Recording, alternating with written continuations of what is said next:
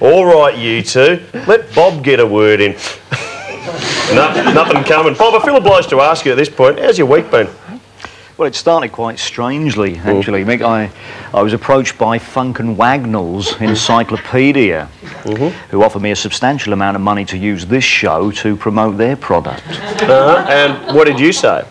Well, obviously, I turned them down. I felt it would compromise this show to mm-hmm. accept the offer. Sure. May I ask, Bob, how you communicated your rejection?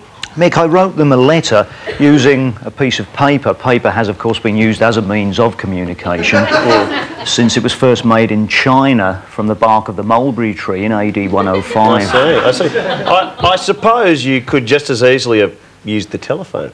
Well, certainly since 1877, the telephone has been a popular way of getting a message mm. across, mm. yes. It, it must have been frustrating for the inventor of the telephone. Alexander Graham Bell. Yes, having invented the telephone, I bet the first thing he wanted to do was ring someone and tell them.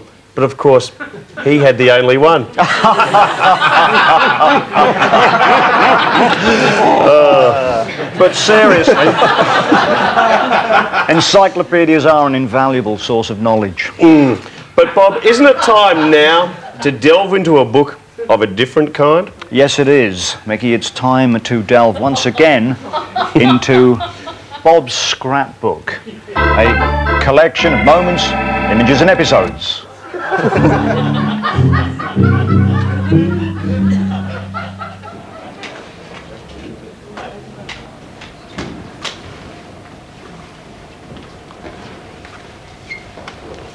the artist? Yeah. You like that one? It's just beautiful. The light is so evocative. Yeah, it's an extraordinary time of day in the bush. First thing in the morning, and the sun rises behind those mountains, it, casts those long shadows. Gives the whole landscape a kind of a, a luminous quality. It's just beautiful. So, do you do any nudie stuff? Beg your pardon? Naked women, that sort of gear. Yeah, I got a bit out the back. Great. A visit from the law.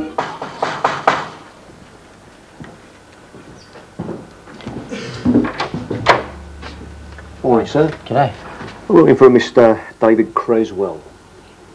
Uh, there's no one of that name here. You live here on your own? No, no, there's a girl who lives here too. Got some proof of identification on you, sir? Yeah, sure. How long you lived here? Uh, since June of last year? June of last year. Yeah. Still got your old address on the licence there. Uh, yes, I must have forgotten to change it. You might want to get onto that. I will. Okay, thanks. Uh, just a moment, sir. You want to just step out on the driveway? A couple more questions. okay. So you no idea where this David Creswell could be? No.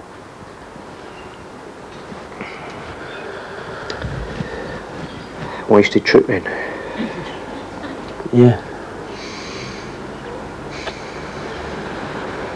I don't suppose you've done anything wrong, have you?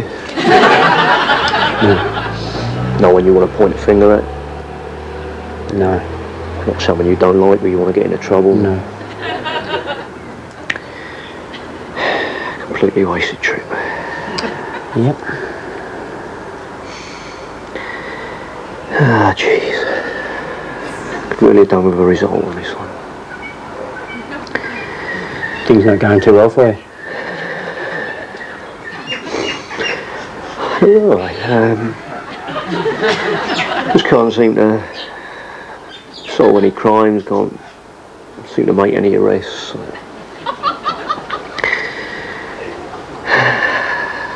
Not your problem, mate.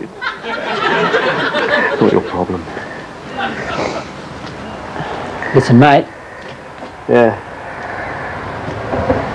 Look, I'm, I'm David Cresswell. What?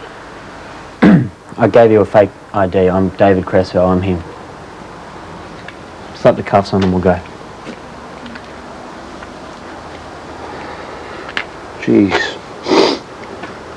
Seems kind of unfair. You've been so helpful. Look, I'll tell you. I'll tell you what I'll do. I'll go back to the station. I'll tell them I've spoken to you. You've shown me some ID that says that you're Mark Goldstone. I mean, that's the truth, isn't it? Uh, yeah, it is. Thank, thank you. That's really nice of you. Well, fair's fair. Yeah. You got to go and do that right now. I'll go and do that now. But it's just I've only just um, put the kettle on. It seems a shame to.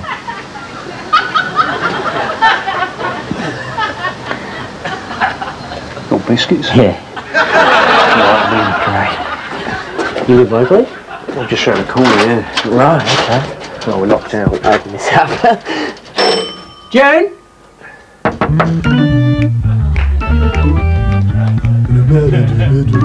Hi, how are you? Good, thanks. What can I do you for? Uh, I think I'll have a screwdriver. Hmm, good choice. I make a particularly mean one. Now, what we need for a screwdriver is a generous measure of Russian vodka.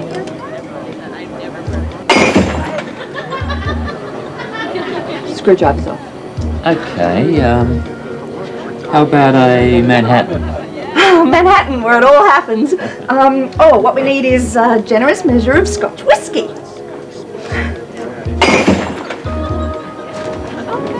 We're going to have to let you go. I understand. Shall I clean up? I'll do this.